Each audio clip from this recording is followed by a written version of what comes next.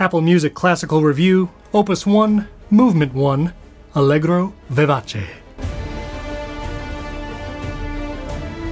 Okay, but for real, I love classical music. I studied it in college. I was principal trumpet in an orchestra for several years, and Apple just launched an app dedicated for classical music. It's called Apple Music Classical. The app does a great job with discoverability, with creating playlists, and I love how it organizes things like works and composers. So let's dive into it, and I'll mention a couple bugs and things that I hope Apple improves in future versions. So this is the Apple Music Classical app. It's a free download, and if you subscribe to Apple Music or you're on one of the Apple One services bundles, you have total access to it. It looks a lot like Apple Music. It has a Listen Now, a Browse tab, and your library, which we're going to talk about some of the playlists and ways that's organized. By the way, I did create a playlist just of my favorite classical music. I'll put a link in the video description. We'd love to know your favorites as well in the comments. Number one, let's talk about search. When you're in the stock music app, searching for a piece like Lacrimosa, which is a movement from Mozart's Requiem, you do get some results. Some of these might be from the Requiem, but there's also artists called Lacrimosa, and that's definitely not the classical work. A big difference when you're searching in the app dedicated for classical music, searching for something like Lacrimosa immediately brings up the work by Mozart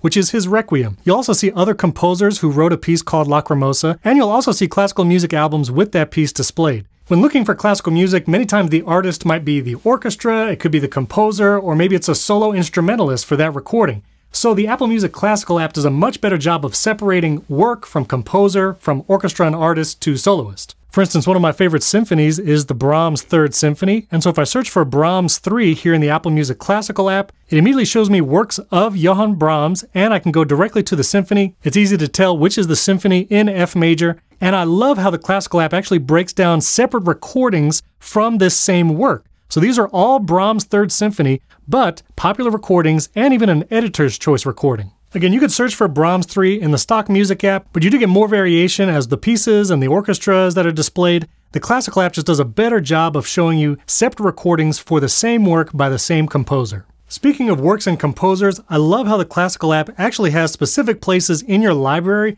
for recordings, works, and composers. You can actually search for a specific composer like Brahms or Mozart, and you can add that composer to your favorites. Then you can tap one of those composers and see his most popular works. You can play those up there. You also see latest albums with that composer's works recorded, and even a short biography of the composer, which is really cool. I also love the recording sections of the library because different recordings of the same piece are very different. If you look at the classical music playlist I put in the video description, there were actually many versions of Mozart's Lacrimosa, one of my favorite pieces, and a lot of them I actually didn't prefer. There was actually one particular recording of the Lacrimosa, and I love that I can save the Berlin Philharmonic version of Mozart's Requiem right here in my favorite recordings. Also, another one of my favorite pieces is the Moldau by Smetana. I can save that work and add it to my favorites, and now I can see all the recordings of that work, browse different orchestras and different recordings, then I can see which one I like the best and add that to a playlist. Sometimes it can be a little frustrating when I'm looking at a work and I want to add that composer to my favorite composers. It can be hard to navigate that and quickly add it to my favorites. For instance, here I'm looking at Dvorak Symphony Number no. 9 from the New World,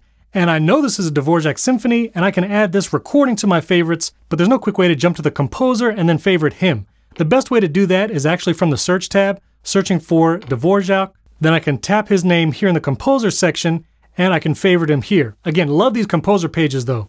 Great picture up at the top, shows their popular works. One of my other favorite composers is Arvo Pärt, who makes great choral music, and I can favorite him as a composer, and then he shows up here in my library.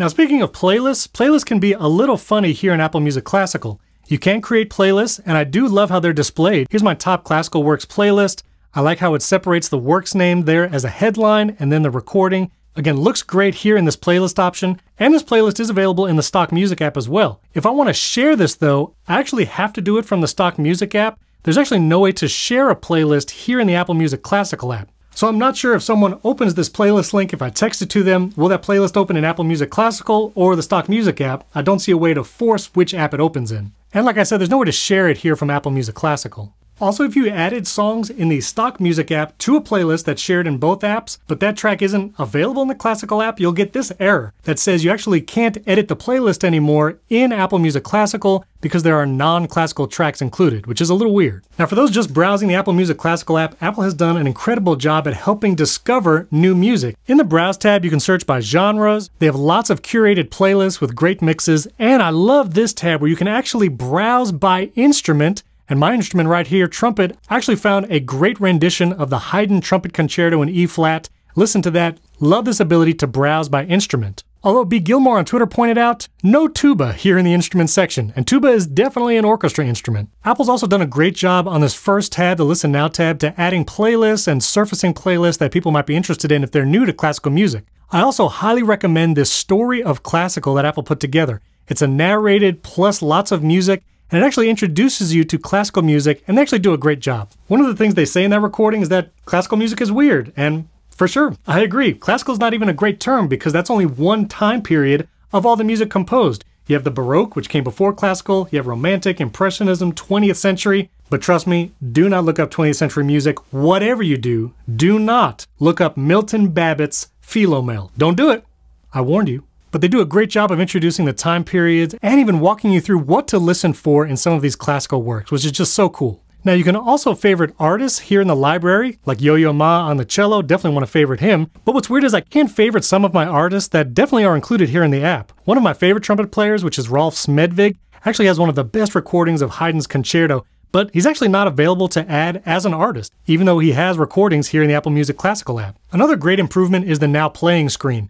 Here's what it looks like to play the Jupiter movement of Gustav Holst The Planets in the stock music app. Usually because classical works have very long titles and artist names, it just kind of scrolls here and it's hard to tell exactly what you're listening to. And there's not really more options to find more info about this recording. If I play that same track in Apple Music Classical, it does a great job of reformatting the text for the title so you can see the entire thing here on the now playing screen. There's also lots of Dolby Atmos recordings here, which sound great. And there's even an I info tab which gives me more information about the recording and links to the artist, the playlist I have it in, and quick links to the composer so I can go right to Gustav Holst's page and listen to more works by him. Overall, I am loving the Apple Music Classical app and it's actually helped me rediscover some of my favorite works, some from different artists, some were the recordings that I loved back in college, and it gives me a great way to experience them both visually, like on the now playing screen, in the way it separates composers and works in the library, and I also love the offerings Apple has to introduce people to classical music who have maybe never listened before. There is still some weirdness on the playlist, whether you add tracks from the stock music app or Apple Music Classical and what's available where. While you can download the Apple Music Classical app on your iPad, it's just the blown up iPhone version, so hopefully Apple releases a legit iPad and Mac app for it. And while you will find some film scores here in the Apple Music Classical app, I do wish there was more of a focus maybe in the browse section on some of those genres, but I hope Apple will fix those in future updates. But for now, this is an incredible launch with an awesome library of classical works.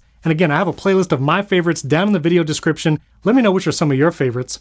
And finally, I know viewer retention is probably going to drop right now, but I actually wanted to thank some of my teachers both from high school and college, that really instilled a love of music. Teaching can be a thankless job, and I see lots of videos on social media of how difficult it is right now. But I want to thank Mrs. McNaughton, my junior high band director, and Dr. Hollett in high school. Mrs. Gleichenhaus, who passed away of cancer but was an incredible choral director and made me love a cappella music. So many teachers in college Dr. Tyndall, Dr. Harlan, Ed Bryan, Dr. Dan Gordon, and John Seibert. He was my teacher of music history. He made that class so tough. I mean, we had to identify classical works just by listening to like 15 seconds. From some of the oldest works like the Epitaph of Seikilos, being able to distinguish Beethoven's symphonies. It was one of the hardest classes I took in college, but now that I'm on the other side, I'm so grateful for it. So thank you, John Seibert.